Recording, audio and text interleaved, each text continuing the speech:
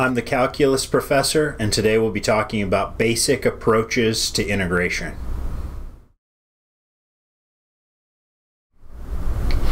In problem number 31, we'd like to evaluate the integral of t cubed minus 2 divided by t plus 1 dt.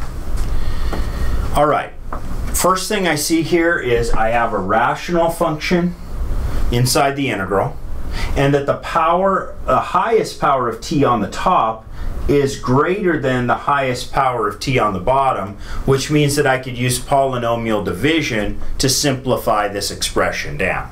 So let's do it. What I want to do is I want to divide t cubed minus 2. Let's divide that by t plus 1. Well, how many times does t go into t cubed?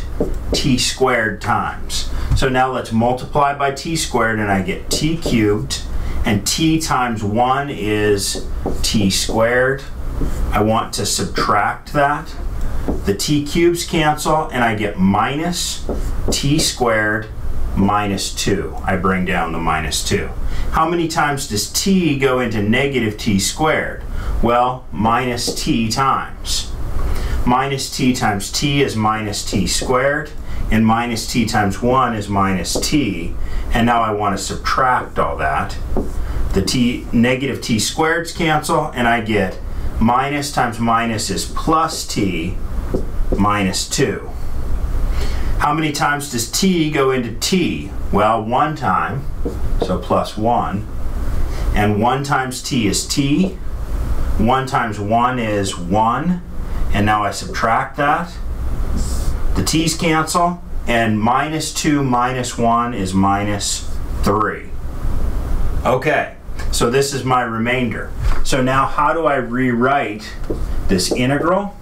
I can rewrite it as, well, it went in evenly, t plus 1 went evenly into t cubed minus 2, t squared minus t plus 1 times. And then there was a remainder of minus 3, and I need to divide that by t plus 1.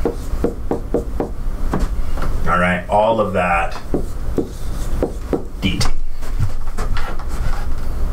Okay, let's take antiderivatives here. Antiderivative of t squared is 1 third t cubed. Antiderivative of negative t is negative 1 half t squared. Antiderivative of 1 is t. And now the antiderivative of negative 3 over t plus 1, what's the derivative of the bottom? 1. So if I just move the minus 3 over to the side, I have minus 3 ln of absolute value of t plus 1 plus a constant.